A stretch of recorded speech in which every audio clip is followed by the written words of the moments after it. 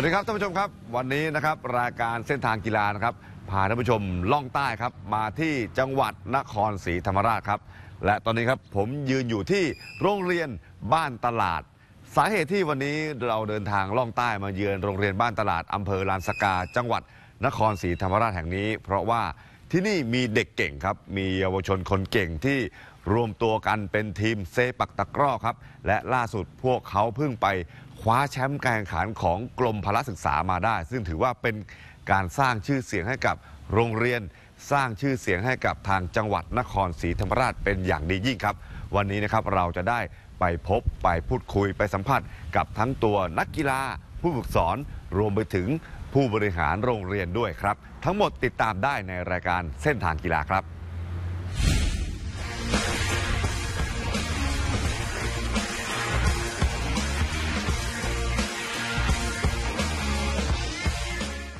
ครับท่านผู้ชมครับ และตอนนี้นะครับผมอยู่ที่โรงยิมของเทศบาลลานสกาครับ ซึ่งเป็นโรงยิมขนาดใหญ่นะครับ แล้วก็มีสนามซ้อมกีฬาในหลากหลายประเภท โดยเฉพาะที่นี่เป็นแหล่งซ้อมกีฬาเซปักตะกร้อของแชมป์กรมพละศึกษาครับ จากโรงเรียนบ้านตลาด ตอนนี้ผมก็อยู่กับตัว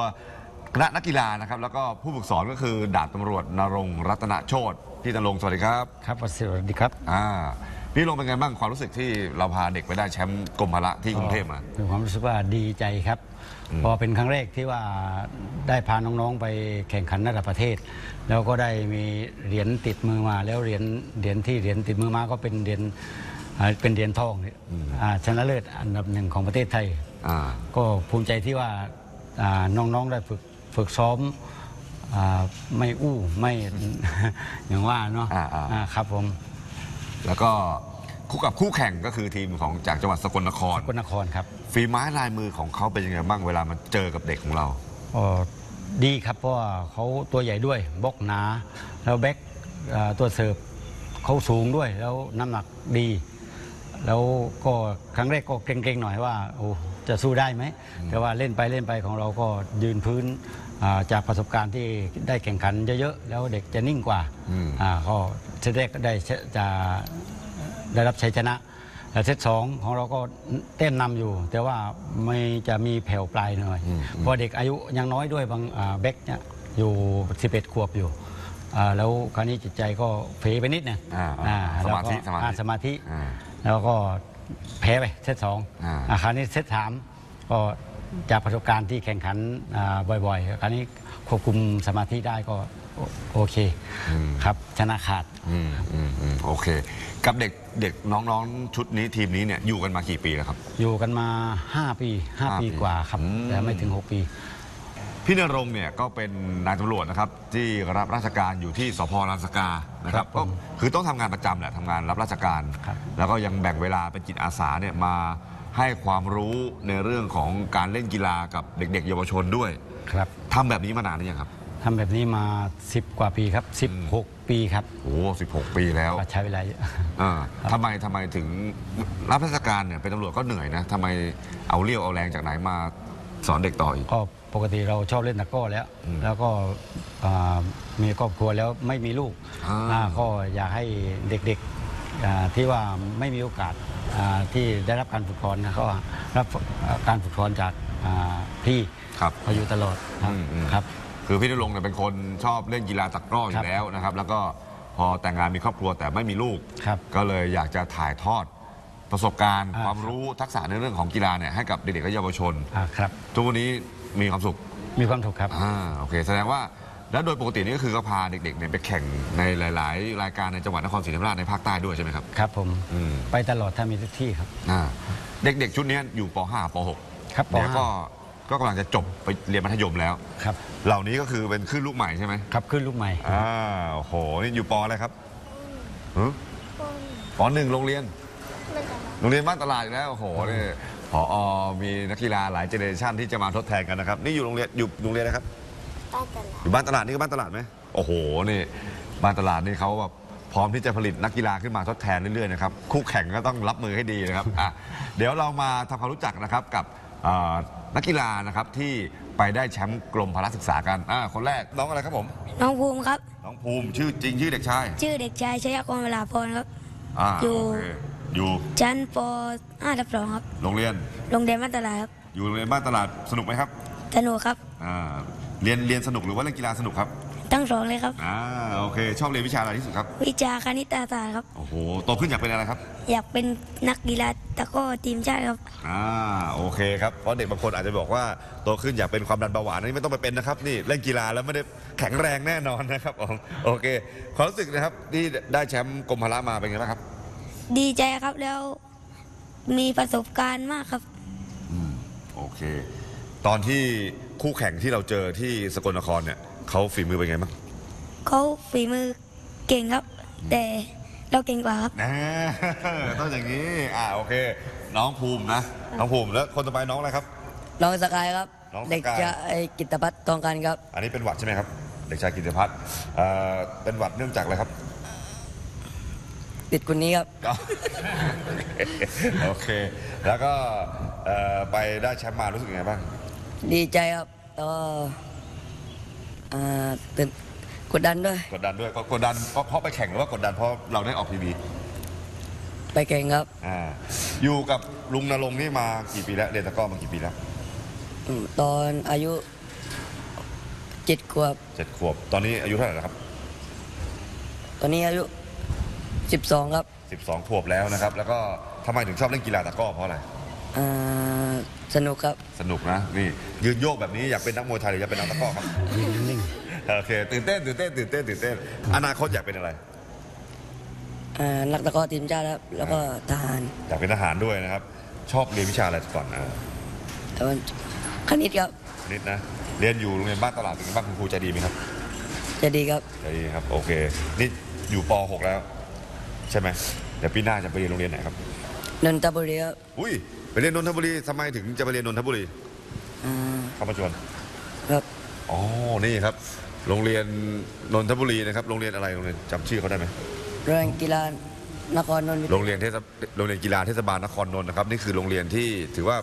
เป็นสุดยอดอีกหนึ่งโรงเรียนนะครับในเรื่องของโรงเรียนกีฬาเนี่ยนักกีฬาเขาเยอะมากแล้วก็ติดทีมชาติหลายคน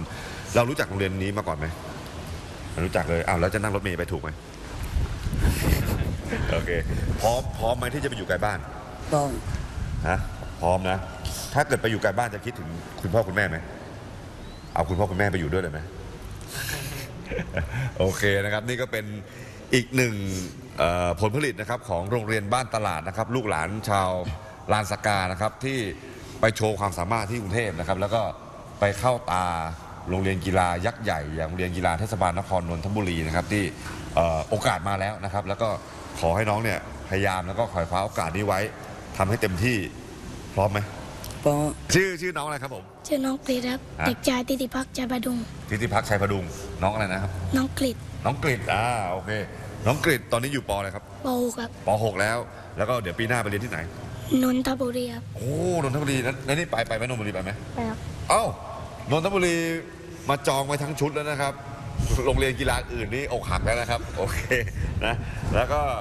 เอ่อตอนที่ได้แชมป์นี่เป็นไงบ้างรู้สึกตื่นเต้นครับ เซตเซตที่สองนี่แพ้เขาใช่ไหมตอนนั้นมั่นใจไหมว่าเราจะได้แชมป์ไม่มัน เริ่มเริ่มหวั่นไหวแล้วใช่ไหมเสียสมาธิแล้วใช่ไหมแล้วทำไมถึงกลับมาชนะเซตที่สามได้ เราเก่งครับ เราเก่งเราเก่งเราเก่งโอเค พูดเองจากใจไม่ต้องมีใครป้อนข้อมูลนะครับ โอเคอะ มีอะไรอยากจะขอบคุณกองเชียร์นะชาวลานสกาชาวนครศรีธรรมราชไหมครับ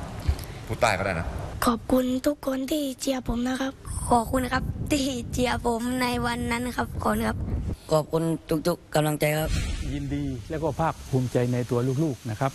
อ่านักลูกๆนักเรียนนั้นก็ตั้งใจฝึกซ้อมมาตั้งแต่ชั้น ป .2 ป .3 แล้วนะดูแล้วเขาไปแข่งขันในหลาย ๆ ที่ของจังหวัดนครธรรมราช หรือในระดับภาคก็ได้ที่หนึ่งมาทุกรายการอยู่นะครับ แล้วก็สุดท้ายครูฝึกก็คุยกับผมว่าจะขอส่งไปแข่งขันกับกรมพระดู เพราะดูสภาพแล้วของเราค่อนข้างที่จะโอกาสมีนะก็ทดลองเป็นปีแรกนะครับเป็นปีแรกแล้วก็วันที่แข่งขันชิงชนะเลิศนั้นสุดท้าย ที่โรงเรียนก็ได้เปิดให้นักเรียนได้รับชม แล้วก็คุณครูได้รุ่นกันนะก็เป็นเป็นความรู้สึกที่ประสบความสำเร็จอย่างเกินความคาดหมายนะเพราะปกติแล้วไม่คาดว่านักลูกๆนักเรียนจะได้ประสบความสำเร็จถึงขนาดนั้น เพียงแต่ว่าได้ไปประลองจะสนามก็ประมาณนั้นทางโรงเรียนบ้านตลาดก็เป็นโรงเรียนสังกัดสำนักงานเขตพื้นที่การศึกษาประถมศึกษานครศรีธรรมราชเขตหนึ่ง สังกัดสำนักงานคณะกรรมการการศึกษาขั้นพื้นฐานนะครับในการดำเนินการส่งเสริมนักเรียนในละแต่ละ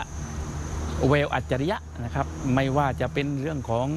ออกีฬา เรื่องของศิลปะดนตรีแล้วก็วิชาการนะทางโรงเรียนก็ได้สุต่อยอด เพื่อที่จะส่งเข้าประกวดส่งเข้าแข่งขันในในหลายอัจฉริยะนะครับ อันนี้กีฬาก็เป็นส่วนหนึ่งนะครับ เพราะฉะนั้นตรงนี้ถือว่าเป็นการดำเนินการตาม เป้าหมายของโรงเรียน คือส่งเสริมทั้งวิชาการ และก็เวลอัจฉริยะของลูกๆนักเรียนในแต่ละด้านด้วยนะครับ เราไม่ทิ้งใครไว้ข้างหลังครับ วันนั้นวันนั้นพอผลประประกาศเสร็จเรียบร้อย แล้วก็ลูกๆได้กลับมาผมก็ได้ให้เอาถ้วยรางวัล และก็นักกีฬาทั้งสองคนสามคนนั้นมาโชว์ตัวที่หน้าเสาธงน้องๆหรือเพื่อนๆก็ได้รับความ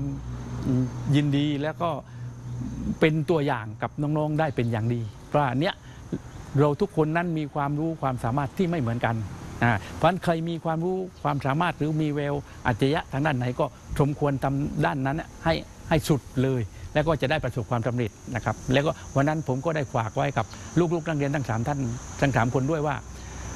ขอให้ดูแลตัวเอง อย่าหลงละเริงว่าเนี่ยเรานี่เก่งแล้ว แล้วเมื่อไรที่เราหลงระเริงเป็นอย่างนั้นไม่สามารถที่จะประสบความสำเร็จในชีวิตได้ เพราะอันนี้เป็นการเริ่มต้นนะครับในฝากเอาไว้กับลูกๆนักเรียนด้วยเลยครับดีใจมากๆเพราะว่าเทศบาลตำบลลันสกาก็ส่งเสริม เต็มที่อยู่แล้ว โดยเฉพาะมีน้องนรงซึ่งเป็นพนักงานตำรวจเป็นจิตอาสา เป็นอาจารย์ท่านเดียว ที่สอนให้เด็กได้ดีน้องนรงเนี่ยนะครับได้ดีหมด ตอนนี้ก็เป็นตำรวจ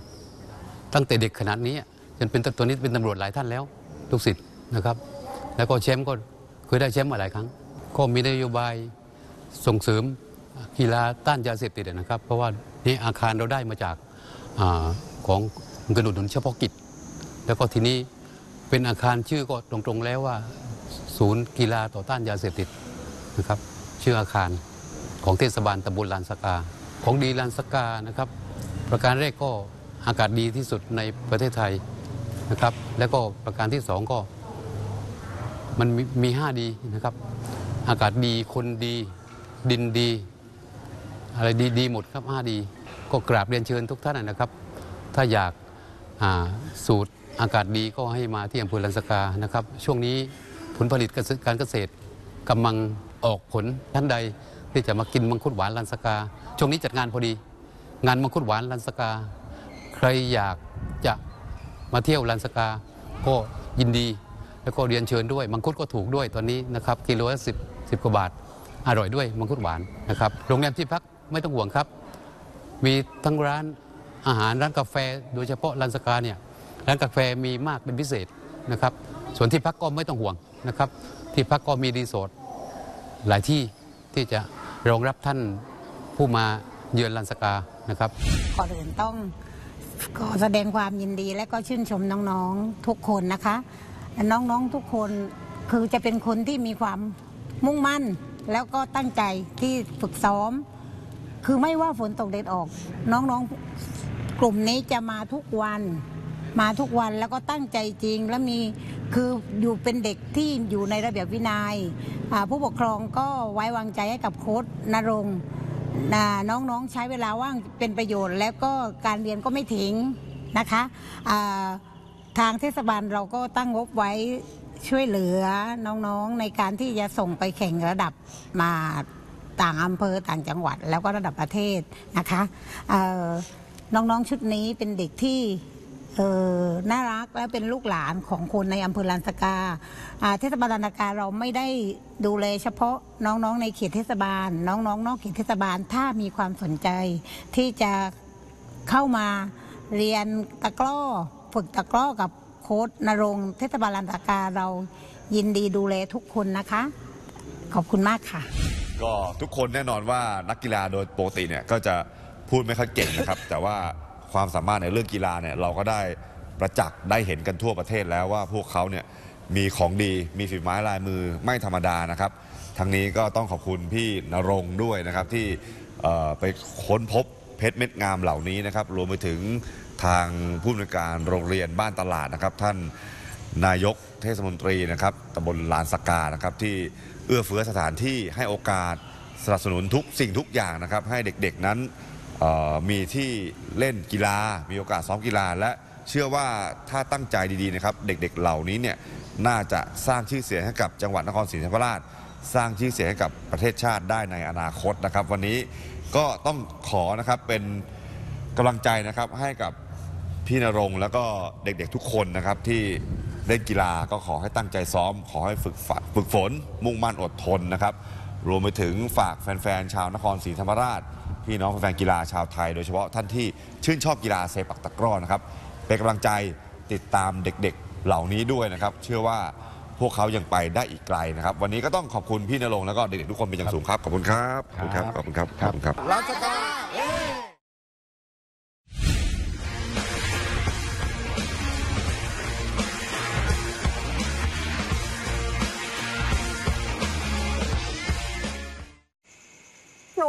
ว่าพวกพี่ๆอะมาเยอะมากชอบเล่นมือถือก่อนนอน งานเสร็จหรือยังครับ งานเยอะ แต่ขอแค่คืนเดียว นอนให้เพียงพอ แล้วไปบริจาคเลือด แค่นอน เราก็ช่วยชีวิตคนได้ ขอบคุณครับ ปัจจุบันจำนวนผู้ป่วยมากขึ้น จนตึกโรงพยาบาลรองรับไม่พอ ขอเชิญชวนร่วมบริจาคเงินสร้างอาคารใหม่ เพิ่มพื้นที่เพิ่มความหวังในการรักษาทุกชีวิต มูลนิธิรามาธิบดีคำว่าให้ไม่สิ้นสุด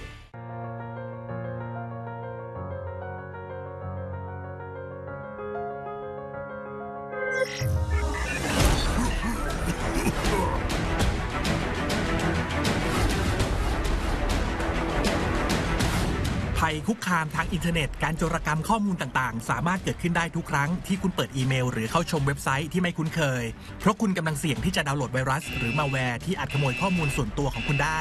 นอกจากนี้อาจมีการปลอมแปลงเว็บไซต์ หรืออีเมล โดยแอบอ้างว่า ส่งมาจากองค์กรที่น่าเชื่อถือ เช่นธนาคาร ด้วยการส่งผ่านระบบ SMS หรือแนบลิงก์ผ่านสื่อต่างๆ ที่คุณกำลังเข้าชมนำไปสู่การโจรกรรมรหัสส่วนตัว รหัสลับ รวมถึงรหัสผ่านครั้งเดียว OTP เพื่อลักลอบเข้าใช้งานและทำธุรกรรมโอนเงินผ่านบริการของธนาคารทางอินเทอร์เน็ต ก่อนทำธุรกรรมหรือเปิดลิงก์เข้าชมเว็บไซต์ต้องมั่นใจว่าเป็นลิงก์ที่ถูกต้อง หากไม่แน่ใจให้ติดต่อหน่วยงานที่อ้างถึงเพื่อยืนยันความปลอดภัย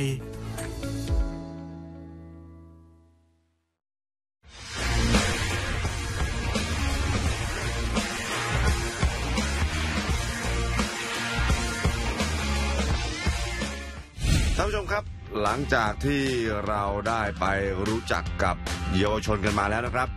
ช่วงนี้ครับผมก็มีบรรยากาศฟุตบอลดาราครับ มาฝากท่านผู้ชมเช่นกันครับ เนื่องในวันที่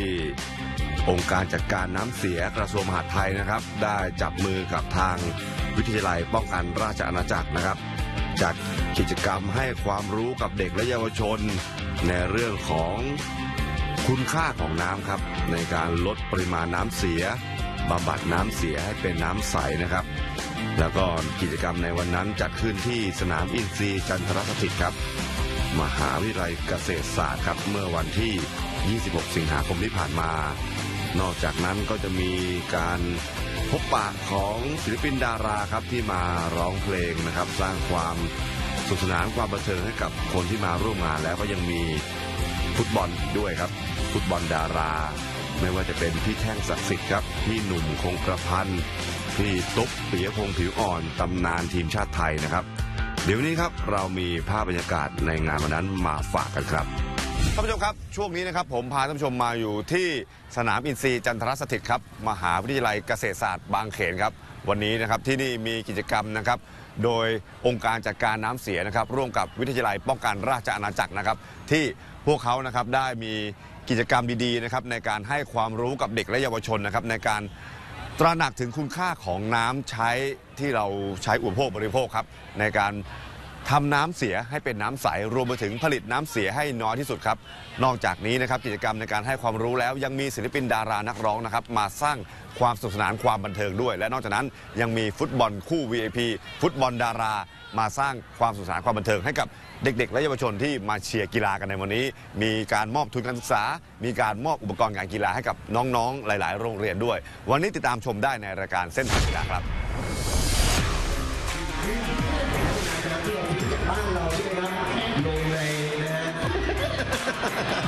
เอาเด็กๆถ่ายติ๊กตอกไว้ลูกดูคุณครู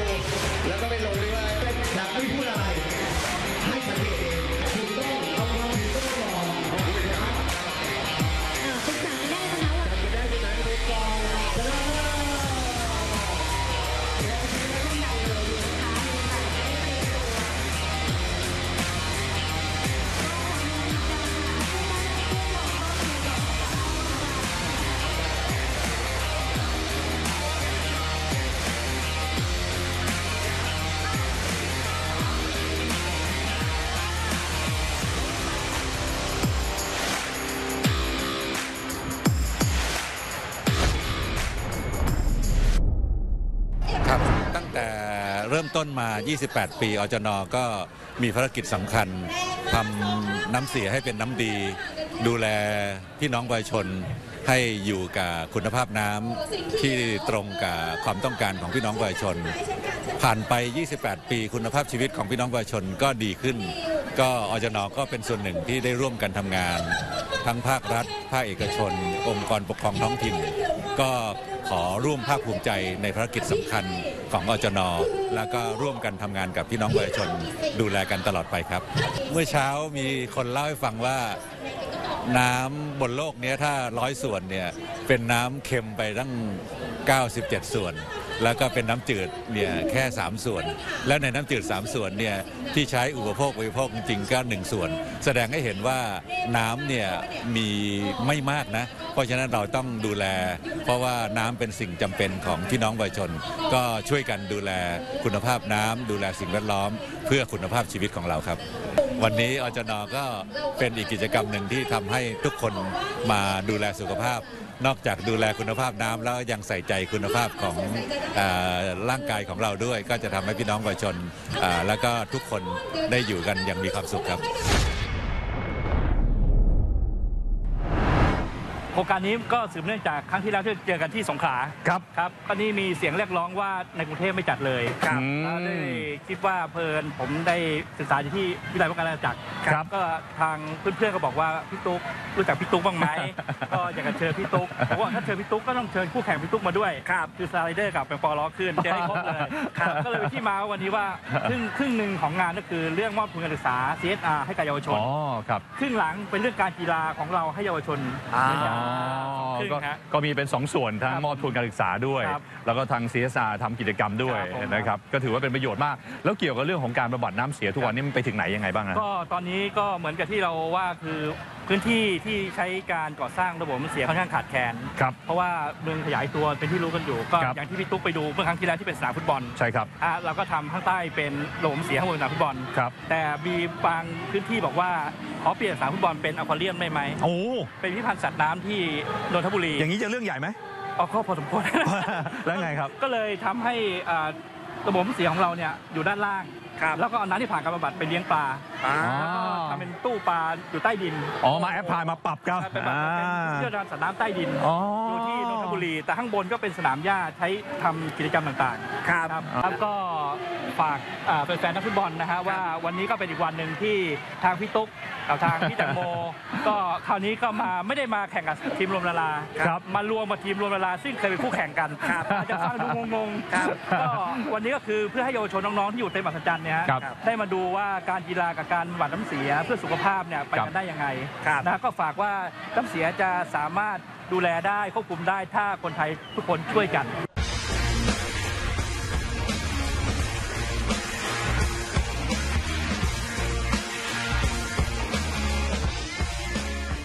ครับตอนนี้นะครับอยู่กับ พี่เสนาหอยครับเกียรติศักดิ์อุดมนาคครับ วันนี้มาร่วมงานกับองค์การจัดการน้ำเสีย อยากให้ฝากถึงเอ่อความสำคัญของน้ำไปถึงประชาชนทางบ้านหน่อยครับ ผมสำนึกอยู่ตลอดเวลาเลยคำว่าน้ำน้ำคือชีวิตของเราจริง ๆ ไม่ว่าจะเป็นยังไงก็แล้ว แต่เราต้องดูแลน้ำแล้วก็จัดการน้ำและการใช้น้ำอย่าง ให้มีประโยชน์ที่สุดทุกหยดทุกหยาดที่มันมีเป็นน้ำอยู่อะฮะเพราะฉะนั้นดีมากๆเลยที่มีการองค์องค์องค์การที่แบบองค์การจัดการน้ำเสียนะฮะเพราะว่าจริง ๆ แล้วอะถ้าระบบดีหรืออะไรดีเนี่ยแบบแบบน้ำที่เราใช้เนี่ยมันจะสุดยอดมากๆครับแล้ววันนี้ยิงกี่ประตูดีครับก็มีอยู่แค่ 2 ประตูฮะไม่รู้จะยิงกี่ประตูดี ก็น่าจะสักสองประตูเนี้ยฮะ ยิงทั้งสองประตูเลยครับผมเหมอหมอเหมอหมอเหมอครับผมขอบคุณพี่หอยครับขอบคุณครับครับตอนนี้นะครับผมอยู่กับดาราหนุ่มรูปหล่อใจบุญครับโตโน่ภาคินครับที่ตอนนี้นะครับ ไปเล่นฟุตบอลรับใช้สโมสรบ้านเกิดขอนแก่นยูไนเต็ดใช่ไหมครับขอนแก่น FC ขอนแก่น FC สวัสดีครับโตโน่ครับอ่ายินดีครับ อ่าเป็นไงบ้างครับไปร่วมงานกับทีมบ้านเกิดขอนแก่น FCก็ดีใจครับดีใจเพราะว่าขอนแก่นก็มีอยู่หลายทีมนะ มีขอนแก่นยูไนเต็ดขอนแก่นมอดินแดง ขอนแก่น FC ครับแต่ว่าขอนแก่น FC อะเป็นขอนแก่นที่มีมีมานานแล้ว ครับผมก็เลยเออโอเคเรามีความผูกพัน ก็เลยอยากจะไปช่วยสร้างสีสันครับ อ่าโอเคทำไมถึงเลือกขอนแก่น FC เป็นทีมที่เชียร์มาตั้งแต่เด็กครับแล้วก็ขอนแก่น FC เคยอยู่ตั้งแต่ division หนึ่ง division สองตอนนี้ไปอยู่ division สามครับ เราก็เลยโอเค เราอยากไปช่วยกระตุ้นครับ อยากให้คนขอนแก่นมาดูบอลเยอะๆอะไรอย่างเงี้ยครับโอเค ก็เดี๋ยวสุดท้ายนะครับให้สื่อสารไปถึงพี่น้องขอนแก่น ให้ติดตามเชียร์ทีมบ้านเกิดของเราเพื่อจะได้เลื่อนชั้นขึ้นไป ครับก็ ฝากด้วยนะ คนขอนแก่นทุกคนครับ จริง ๆ ไม่ใช่ไม่จำเป็นแค่ต้องเป็นขอนแก่น FC นะ แต่ว่าทุกๆ ขอนแก่นเลย ไม่ว่าขอนแก่นยูไนเต็ดขอนแก่นโมดินแดงขอนแก่น FC นะอยากให้ไปให้กำลังใจทีมงานนักเตะเยอะๆ เพราะว่าอย่างขอนแก่น FC อะเราเน้นปั้นเด็กเด็กอีสานบ้านเรา เด็กขอนแก่นเพื่อให้เขาได้มีเส้นทางที่แบบ สดใสนะฮะอย่างนั้นไปให้กำลังใจเด็กบ้านเรากันด้วยครับผม อ่าโอเคครับ อย่าลืมนะครับแฟแฟนคลับชาวขอนแก่นนะครับ ติดตามเชียร์ขอนแก่น FC แล้วก็ทีมหลายๆทีมในขอนแก่น แล้วก็โดยเฉพาะติดตามที่เชียร์พี่โตโน่ด้วยนะครับ ขอบคุณครับ ขอบคุณครับ บ๊ายบาย ตอนนี้ครับผมอยู่กับพี่หนุ่มคงกระพันพี่หนุ่มสวัสดีครับอ่าวันนี้ยิงกี่ประตูดีครับ โอ้โห วันนี้นะฮะก็เอาสักประตูก็พอละคือไม่เล่นฟุตบอลนานนะครับ เพราะว่าอ่าอ่าหลังจากผ่าตัดเข่าก็กลัวมีความกลัวว่าเดี๋ยวเราจะบาดเจ็บอีกก็เลยไปเล่นกีฬาอื่นนะครับ ไปต่อยมวยบ้างไปวิ่งอะไรเงี้ย แต่วันนี้กับตันทีมเรียกตัวพี่แท่งบอกหนุ่มมาช่วยหน่อยไปบังคับไปบังคับมาเรื่องสิ่งแวดล้อมเราต้องมาเออโอเคได้ครับได้ครับ โอเค ก็มีความตั้งใจนะครับ อยากจะ ให้คนไทยเนี่ยร่วมกันแบบ คิดถึงเขาเรียกอะไรอะตระหนักในเรื่องของน้ำนะครับอยากจะให้แบบเอ่อน้ำในลำคลองบ้านเราเนี่ยมีคุณภาพนะครับเพราะฉะนั้นเนี่ยเราก็พยายามอย่าที่จะอย่าทิ้งน้ำเสียลงในแม่น้ำลำคลอง หรือถ้าเกิดว่าเป็นไปได้นะ เราก็บำบัดซะก่อนนะครับ อ่าโอเค ก็นี่นะครับสำหรับแฟนๆนะครับ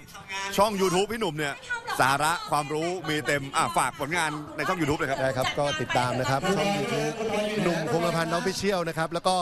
เอ่อรายการศักดิ์สิทธิ์คงกระพันธ์นะครับ